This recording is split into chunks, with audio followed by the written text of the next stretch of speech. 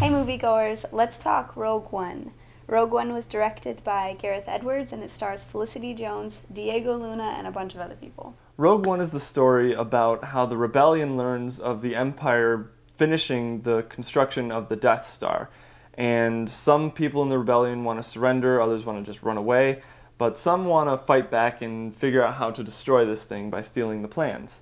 And basically, the whole plot can be found within a sentence of the opening text crawl of A New Hope. And it's basically all about hope.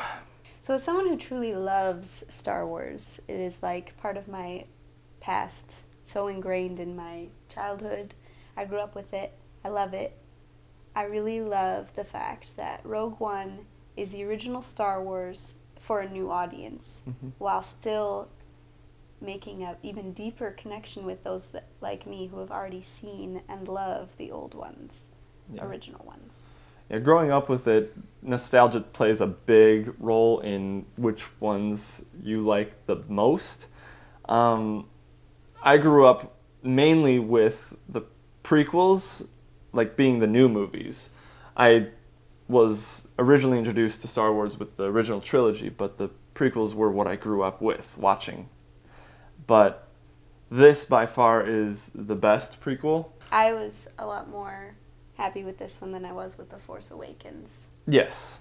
What what I hoped Force Awakens would deliver and kind of failed on, this one just took it to the next level. Mm-hmm. And it was exciting. It had good characters, great story, and I couldn't stop smiling the entire movie, to be honest. They had some really, really great tributes to the original. Um, there's some subtle ones, there's some in your face ones, but they all play it off so well where it's not annoying. It is just very well placed, and it really, really just makes the inner Star Wars person love it. Yeah. They did such a good job at connecting the prequels, mainly episode 3, to episode 4. It was so It was just it was seamless- flawless. Yeah, I don't know if you necessarily had to have seen the original to enjoy this movie. No. because it seemed to be its own separate story. You could get the gist of what was happening. There was some placements of, of tributes and homage being played so that the original fans of Star Wars would catch them, but somebody who may not have ever seen the original ones or know them that well could just enjoy it as is. Yeah, it's definitely focusing more on the war part of Star Wars, which is great.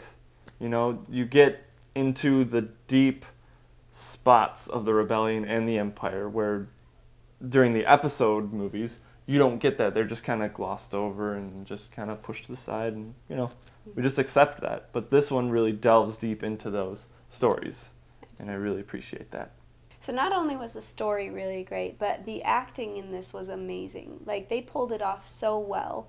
There are so many characters that you just can love so quickly and get attached to so quickly. And when I go to movies, I watch them with the view of I'm going to nitpick all of the shots and sequences and acting and behind the scenes type of things. Oh, they should have done this differently. They should have done that differently. Oh, that was a bad edit. Oh, that was a bad edit. Um, that was a terrible line. Why would they do that? But watching this one, I wasn't thinking about any of it. I was just so enraptured in the story that I just completely forgot that I was watching a movie, which for me doesn't happen a lot. So I really enjoyed that. Yeah, and for a, just a spin-off movie where the majority of the well, all of the core characters are brand new to the franchise, you immediately kind of know what they're about. I mean, just quick little hints at their background is like, wow, I like this character, and And in this one, they're not flat characters. No. They're definitely, you can see the complexities right away. And so you're not just watching, you know, stereotypical, oh, that's the comic relief character, and oh, that's the, you know, hero. While you do see that, Mhm. It's also kind of like you're still watching and seeing what they're doing and their motivations behind their actions. Yeah. And it's just really enjoyable. I loved it. Yeah. and Alan Tudyk playing the droid character K2SO, he was great. I thought, seeing the previews, I thought he was going to be an annoying droid character talking about the odds like C3PO did. But it worked to their advantage, kind of making fun of C3PO. From the trailers, you expect it to be, oh, great, they're trying to make another C3PO, and what is this going to turn into? Is he going to be annoying? Is he going to be, you know, the whatever? And I loved him. Like, he was the comic relief, but in a mm-hmm. way that was intelligent and fun, and he was cool at the same time. Yeah. So, all of that together, his character was amazing. The visual effects in this movie are just incredible. When I saw the first few previews, I was a little nervous that we were only going to get a couple shots of the X Wings, but I was definitely very happy with how they used the X Wings. And in some of the previews, you do get some glimpses of Y Wings, and they do play a role. And it's very refreshing to see because that was one of my gripes about Force Awakens is they only used X Wings and they only used the regular TIE fighters. It was very bland. Mm-hmm.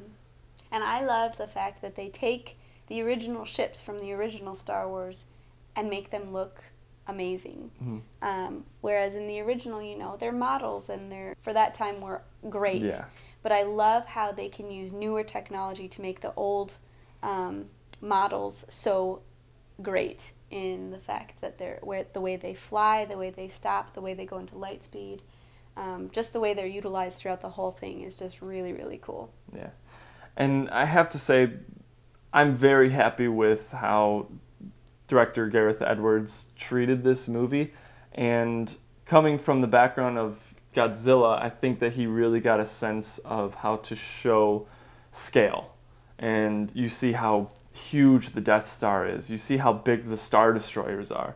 And even uh, the shots of the AT-ATs, which I think in this movie they're not AT-ATs, I think they're AT-ACTs, which is really weird but you get a sense of how big and menacing they are in this movie.